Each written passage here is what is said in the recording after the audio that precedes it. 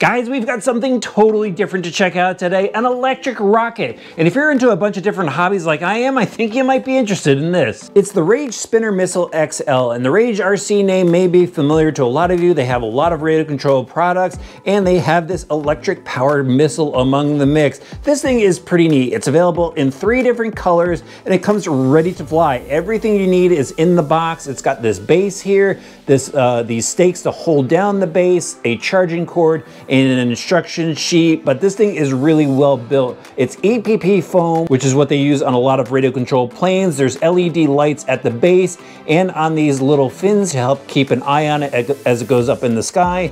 It's powered by a electric motor inside that spins this propeller at the bottom. And this is capable of going up to 150 feet in the air. And you can actually adjust the height by the number of presses you give to the start button. You could do one, two, or three presses.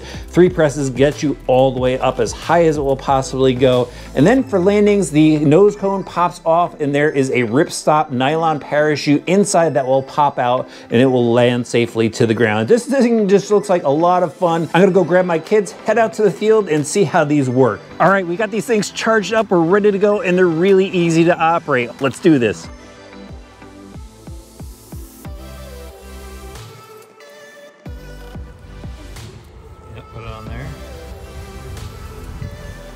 Go for it.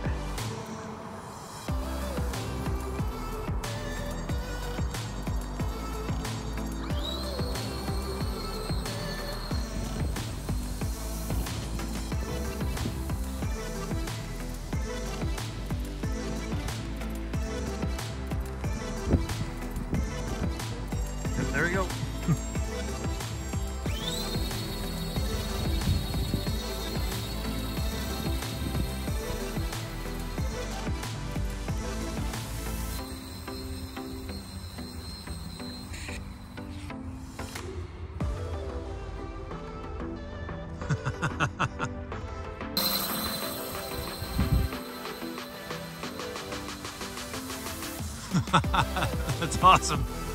Ah, oh, who won?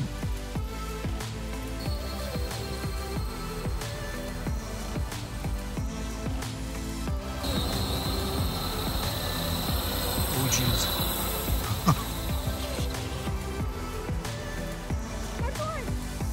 So we wound up having a lot of fun with the spinner missiles, a lot more than I thought we were gonna have. And the only thing I noticed with them is sometimes they get caught up in the launch pad. So what we were doing was we were hand launching them. And if you're going to do that, it's at your own risk. And I would strongly recommend wearing safety glasses. But once we did that, we had a lot of fun watching these things just launch up in the sky, watching the parachutes eject. It was really cool. I think we're gonna have a lot more fun with these in the future.